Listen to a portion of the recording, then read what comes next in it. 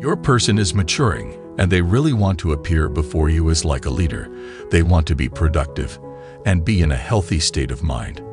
They are changing because they really love you and want to take care of you. Right now, your person is trusting the connection they have with you, and they don't care about other people's opinions. They see you in an Empress energy because you have proven that you are self-sufficient and you can take good care of yourself and your household. Your person really wants a mature partnership with you. They want you to know that one of your qualities that attracts them most is you are very kind, humble, and generous. They see you as someone who is very happy and takes a lot of pride.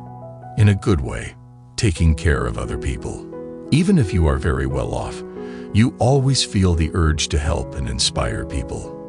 Before your person got to know you, the impression they had of you was that you are very bossy, snobby, arrogant, but after getting to know you, they see you as a very kind, loving, sweet, and compassionate person. Your person refuses to take their eyes off you. They are in deep thoughts about you, and they don't want to see you with anyone else because they want to be your protector, provider, and emperor.